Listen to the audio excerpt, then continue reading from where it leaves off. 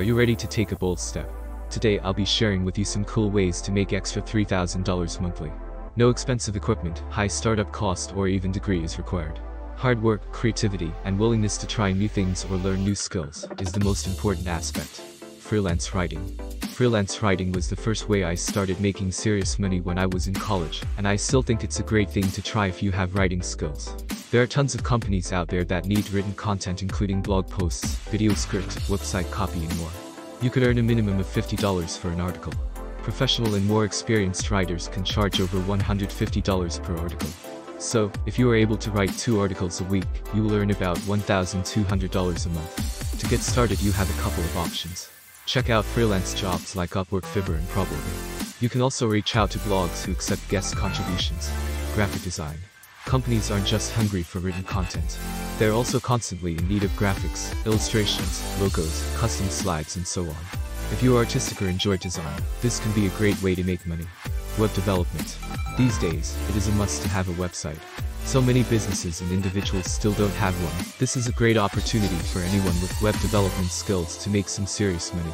I charge around $1,000 to create a very simple website for clients, and more to create complex ones. You can maximize the opportunity and start learning how to develop a good website. Audio transcription.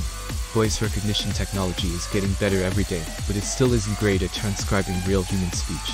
For this reason there is a demand for skilled audio transcriptionists.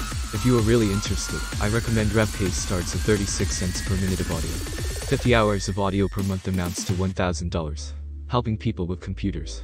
Using a computer may seem easy to you, but for many people who are not digital natives, it is not so easy for them. Teach them how to make use of their laptops and earn good cash for the service.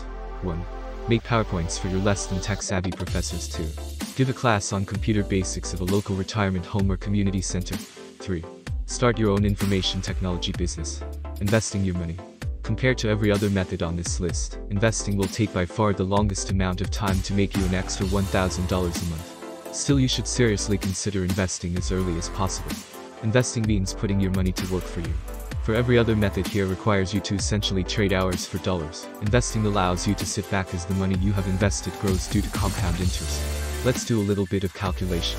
If you are 25 years old now, and you invest just $200 a month for the next 30 years at 7% rate of return, by the time you are 55 years, you will have a bit over $228,000, even though you only invested a total of $72,000 of your hard-earned money. That means you have gained a whopping $156,000. Selling your old stuff. Your garage, closet or attic is probably full of perfect good things that you just don't need anymore. Instead of letting them sit there collecting dust and getting in your way why not sell them for some extra cash? Fixing and flipping cars. Hardly a day goes by that I don't see an old car bike for sale in someone's yard. Well I don't have the time or the mechanical skills to do it, I know lots of people who make good money buying old vehicles, fixing them up, and reselling them. Consulting.